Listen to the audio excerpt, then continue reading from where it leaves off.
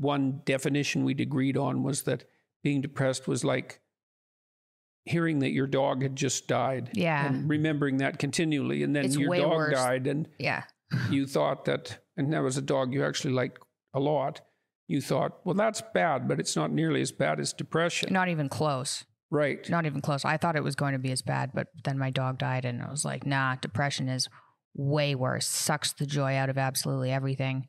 Can't even see colors vividly. Mhm. Like the joy out of seeing colors, which you don't even think there's joy associated with that. But Right. Because, well, with severe depression, you lose positive emotion and gain a lot of negative emotion.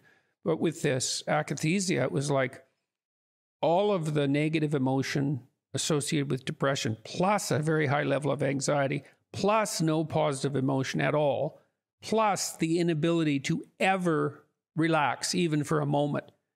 And so it was, yeah, I wouldn't recommend it.